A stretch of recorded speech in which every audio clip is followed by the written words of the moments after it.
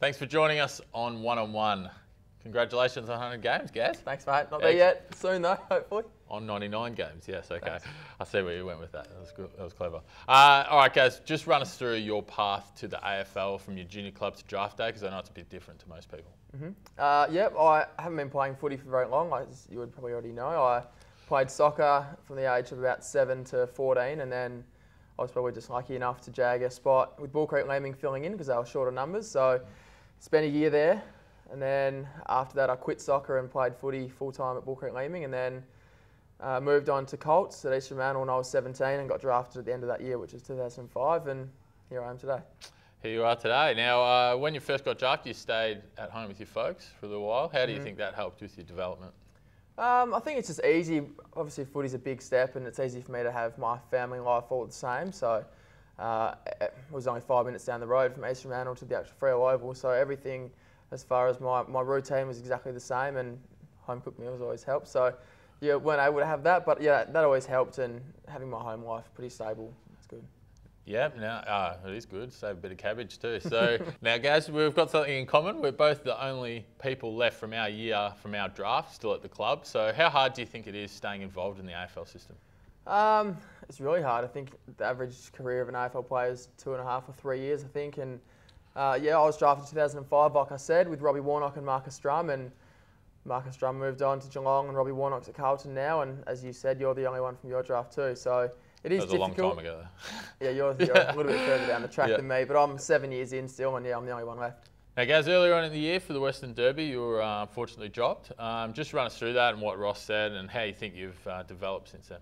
Yeah, I've, I'd played every game this year up until that time, and Ross sort of said to me uh, that I hadn't been performing probably to the, the best of my ability up until that stage, and that was his main reason for dropping me that week. And I sat in the stands and watched the Derby, which is hard enough as it is, but um, to see your boys playing against West Coast and know that I could have been out there contributing if I had been playing my best footy was really hard. And the next week, Ross sort of spoke to me and said that it was something that he thought I can contribute more and give a bit more than I was. And he sort of thought it was a good idea for me to see what it's like to, to not, not play and to spend the time in the crowd and watching your teammates play a game of footy. And that's something that I think I'll use for motivation now for, well, for the rest of my career. It was something that was really, really hard for me to do. And I didn't enjoy it one bit. So, yeah, it's been a motivation for me, and I hope it doesn't happen again. Uh, well, it's no fun, is it? And it happens to everyone, and you've played really good footy since, so I think it's something that's helped you. Uh, so, did you ever think you'd play 100 games?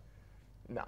To be honest, I, I got drafted when I was 17 years old, and at the time I was a 50-50. Like you said, I had only played sort of three or four years up until that stage, and uh, well, I was 17, and I didn't know if I was going to get drafted. It was a maybe pile more than anything, and luckily I got drafted number 26 to Freo, which has been a fantastic thing. And then since then, took me a couple of years before I played my first game, and then I didn't play again for almost half a season. Then I came in and I was out, and then came in again, then came out, and then came in have been relatively steady since then. So it's been a little bit up and down for me, and it's been a bit of a process, but yeah, it's good to hopefully get there this weekend. Hopefully, get there. I think we get there. Now, who's been your biggest influence down at the football club? It's been a few people along the way. Obviously, when I first started, there was guys around like Matty Carr and Josh Carr who were from the same area as me, and Shawnee Mack as well, who were obviously a little bit older uh, at the time and have moved on to different things now.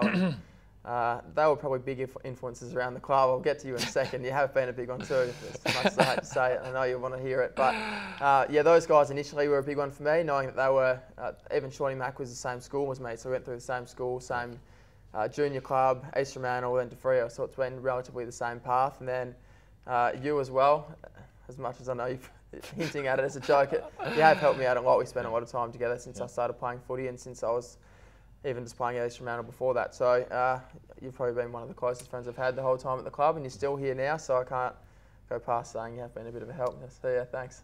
Good work, guys. Sticking Nice, after man. each other in the newsroom. uh, so, what's been your biggest uh, highlight since you've been at the football club? There's been a few. Obviously, my first game, uh, I was only 19 at the time, and we are playing Richmond at home, round 11. Uh, nervous of playing my first game, but it was good to get that through. And then playing my 50th game, and then my first final have all been right up there for most enjoyable things I've had at footy. So hopefully, there's a few more good times to come. Totally agree with you, guys. Thanks for joining us in one on one, and uh, hopefully, hopefully you run through the banner for your hundredth game of the weekend. I'll be right there beside you. I did miss out on your first game because I was suspended, so Yeah, thanks. uh, this is our first milestone together. Good work, guys. Thanks, mate.